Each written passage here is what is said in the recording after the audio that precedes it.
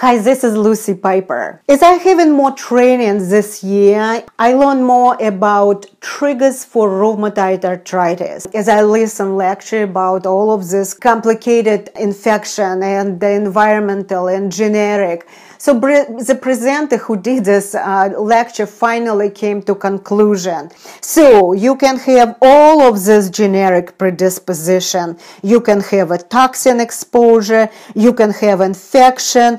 All these opportunities to develop rheumatoid arthritis. But if you have a healthy gut, you are good. So remember, all disease or health begin in gut. That's why we're going to focus first on a gut health and I will break it down to two kind of main area to focus and one it will be leaky gut and another one it's a gut dysbiosis which imbalance good and bad bacteria in the gut. So when we have a leaky gut, things like undigested food, bacteria, toxin moving into the bloodstream and causing all sort of house in immune system because immune system located right here in digestive system. When it's foreign invader come immune system react and that's when we have a symptoms. It's important to point out that symptoms of leaky gut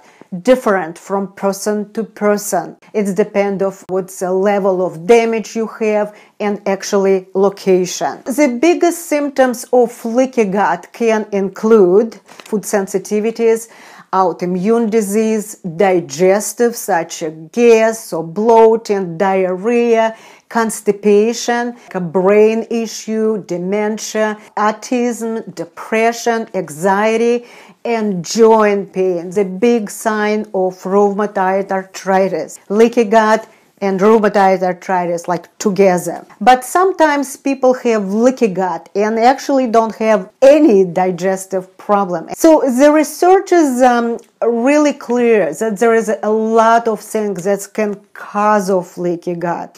There is not just one thing. In most, most cases, it's a combination of things. Also, it doesn't happen overnight. So what is the cause of leaky gut? Food sensitivities. So also when gallbladder removed, people cannot break down fats and now small intestine need to do more work. That's when it's uh, overworking and that cause of leaky gut also.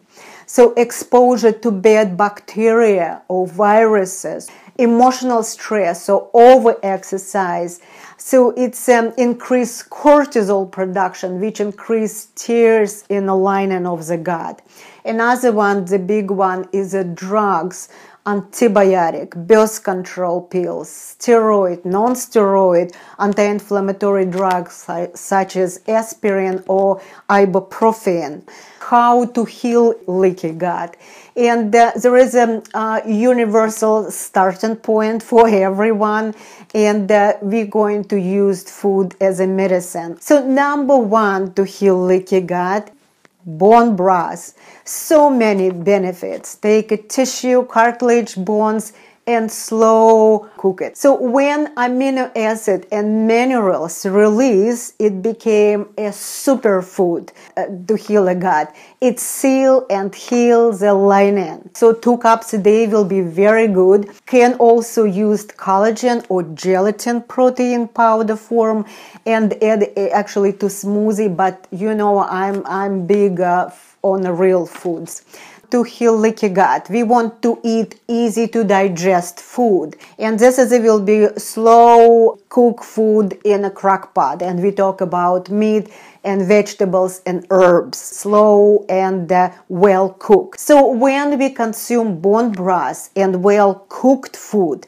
body does almost no work so digestive system is resting. One of the biggest cause of leaky gut prescription of antibiotics. It come to the body not just with the medication but also uh, come with a, like a drinking water supply or conventionally raised meats which load with antibiotic and hormones. That affect everyone intestinal lining. Because these antibiotics for uh, from animal protein that's what you absorb to your body. So, and uh, actually, person can follow all dietary advice, but taking antibiotic on regular basis, it can affect all process to getting better. So, three things to remember here: bone broth, one two cups a day. Well cooked food, particularly if you have digestive symptoms, and be selective uh, with the drugs you take in particular antibiotics. There is no quick fix again, as you see, very simple approach like a healing leaky gut one on one. But what it's important here, it's uh, one step at a time. You can heal. So this is Lucy Piper, your RA coach. Download your free books below and please scroll down, leave a comment and let me know what you think.